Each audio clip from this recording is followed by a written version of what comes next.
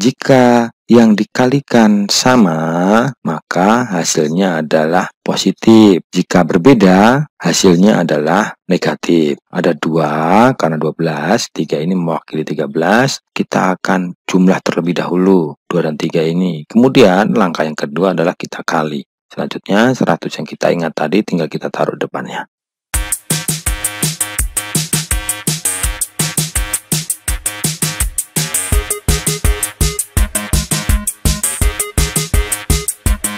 Assalamualaikum warahmatullahi wabarakatuh. Halo adik-adik semua.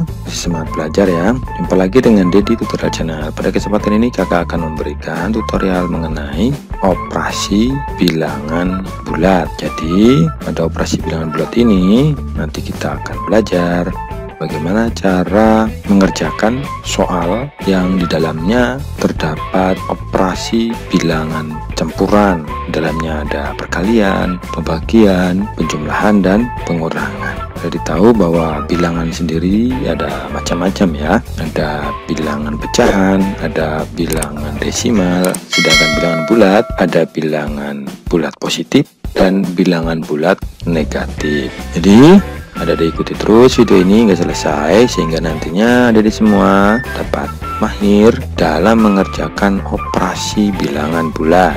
Baik, langsung saja pada contoh soal yaitu contoh soal yang pertama. Pada contoh soal yang pertama ini operasi bilangannya adalah 6 ditambah 2 dikali 5 dikurang 4 dibagi 2 dalam operasi bilangan campuran di sini ada penjumlahan, ada perkalian, ada pengurangan dan ada bagian. Jadi dalam operasi bilangan bulat biasanya yang sering kita tahu ada perkalian, ada pembagian, ada penjumlahan, dan juga ada pengurangan. Jadi biasa kalau untuk memudahkan untuk menghafal, biasanya kalau yang di daerah Jawa itu biasa bilang Ipolondo, Peng Porolan Suto.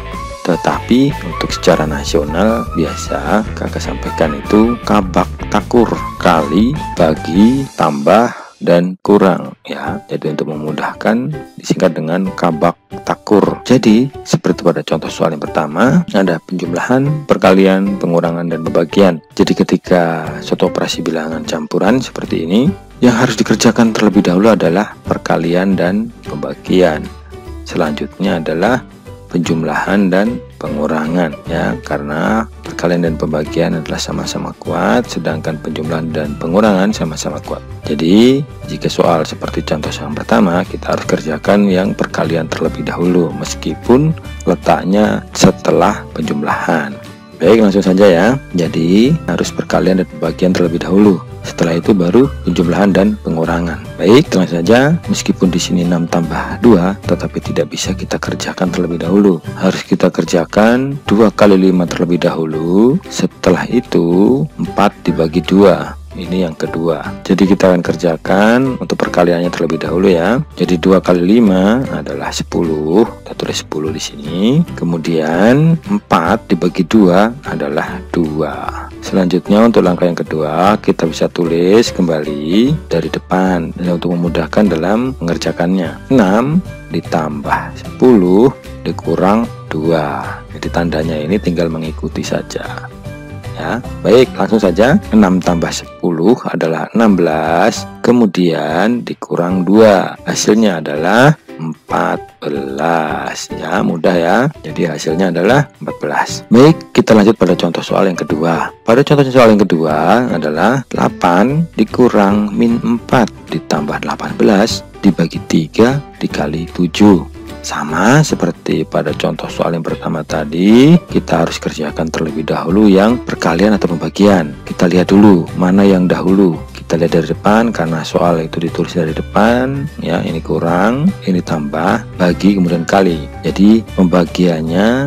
harus kita kerjakan terlebih dahulu setelah itu baru yang kedua adalah perkaliannya. Karena pembagian dan perkalian sama-sama kuat. Baik kita lanjut saja. Kita bagi terlebih dahulu. 18 dibagi 3 adalah 6 karena 6 dikali 3 adalah 18 kemudian kita kalikan dengan 7 6 kali 7 adalah 42 Selanjutnya kita bisa tulis seperti tadi. Untuk soal yang kedua ini agak berbeda dengan soal yang pertama. Ada dilihat di sini 8 dikurang min 4. Ketika ada tanda kurung seperti ini, maka harus kita kalikan karena berlaku hukum perkalian, yaitu tandanya yang akan kita kalikan.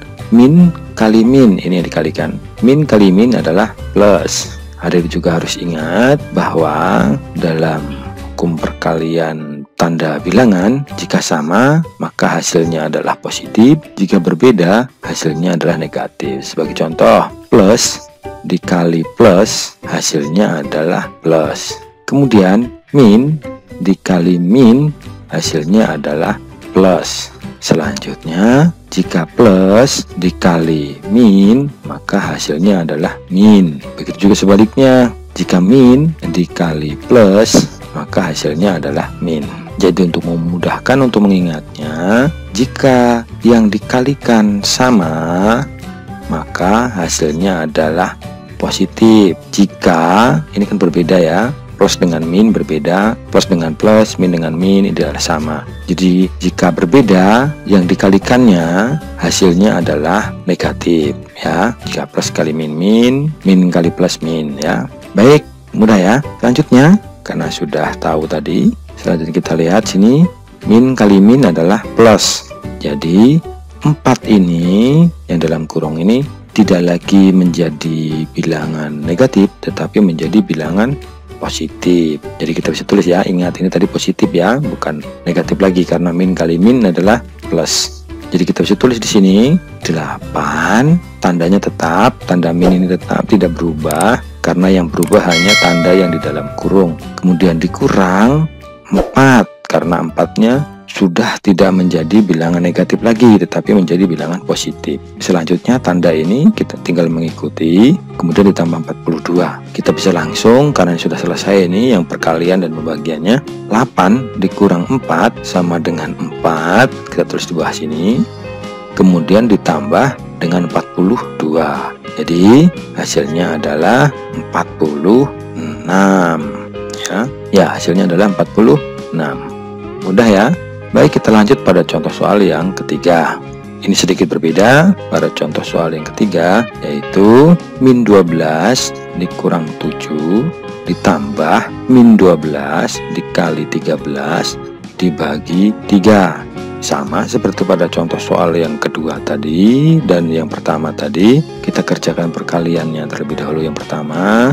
Selanjutnya yang kedua adalah pembagiannya kita langsung saja kalikan ya, 12 kali 13 12 kali 13 ini bisa dengan susun ke bawah tapi kakak akan mengajarkan dengan menggunakan jari agar cepat yaitu perkalian 11 sampai dengan 15 karena jari kakak tidak kelihatan jadi kakak akan ibaratkan ini jari ya jari sebelah kiri ada dua karena 12 kemudian jari sebelah kanan ada tiga yaitu 13 tiga ini mewakili mewakili 13, 2 ini mewakili 12. Seratusnya di mana? Seratusnya kita ingat ya, karena 10 kali 10 kan 100, kita ingat. Baik, selanjutnya untuk memudahkan dalam mengalihkan dua bilangan ini, yang pertama kita akan jumlah terlebih dahulu 2 dan 3 ini. Kemudian langkah yang kedua adalah kita kali ya. Kita mulai pertama dulu ya. 2 tambah 3 adalah 5. Kita tulis 5. Selanjutnya 2 kali 3 6 taruh 6 karena pertama tadi penjumlahan maka bilangannya kita taruh di depan. Selanjutnya langkah yang kedua tadi perkalian maka kita taruh di belakang. Selanjutnya 100 yang kita ingat tadi tinggal kita taruh di depannya sebagai ratusan. Min 12 dikali 13 adalah 156 belum selesai ya kita lihat lagi di sini ada tanda. Karena ini negatif dikali positif ya negatif kali positif sama seperti tadi ini. Min kali plus adalah min karena berbeda ya. Jika tadi, jika yang dikalikan sama, maka hasilnya positif. Jika yang dikalikan berbeda, maka hasilnya negatif. Ini kan berbeda, jadi negatif. Selanjutnya, langkah yang kedua adalah kita akan bagi dengan 3. Kita langsung bagi saja dengan bilangan 3. 15, kita bagi 3, hasilnya adalah 5. Selanjutnya, 6 dibagi 3 adalah 2. Tapi ingat, ini adalah negatif jadi min 156 dibagi 3 adalah min 52 Selanjutnya kita bisa kerjakan dari depan seperti tadi ya. Kita langsung min 12 dikurang 7. Jadi jika dalam garis bilangan min ini berarti kita akan menambah. Min 12 berarti akan ditambah lagi dengan 7 karena min bukan tambah. Jadi min 12 dikurang 7 Artinya min 12 kita akan tambah lagi. Jadi jika bilangan yang sama seperti ini Ini sama-sama min maka akan kita jumlahkan. Tetapi jika berbeda misalkan ini negatif Jika ini positif maka kita akan kurang. Jadi min 12 dikurang 7 Hasilnya adalah min 19 Selanjutnya kita bisa tulis di sini tanda tambahnya. Ya lanjut. Berarti min 19 ditambah min 52 hasilnya adalah 9 ditambah 2 adalah 11 kita simpan 1 selanjutnya 1 ditambah 5 adalah 6 kemudian ditambah 1 simpanan tadi adalah 71 tetapi 71 ini adalah bilangan negatif karena min ditambah min.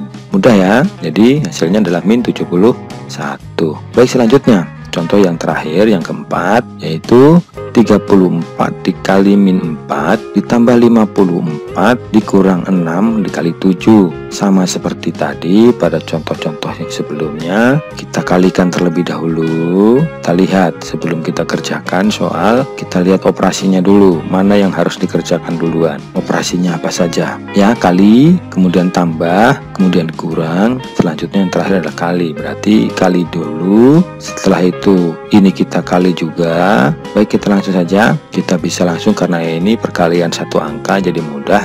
4 kali 4 16 kita tulis 16 di sini. Tulis 6 nya simpan satu ya. Kemudian 3 kali 4 adalah 12 12 tambah 1 simpanan tadi menjadi 13 belum selesai ya. Setelah itu setelah dapat nilainya kita lihat kembali bilangannya. Ini plus dikali min ya tadi jika berbeda maka hasilnya adalah negatif. Plus kali min adalah min. Jadi hasilnya adalah min 136 kemudian langkah yang kedua kita akan kalikan 6 kali 7 6 kali 7 adalah 42 baik selanjutnya kita tinggal turunkan saja tanda tambahnya. Kemudian 54 ini kita tinggal tuliskan ulang.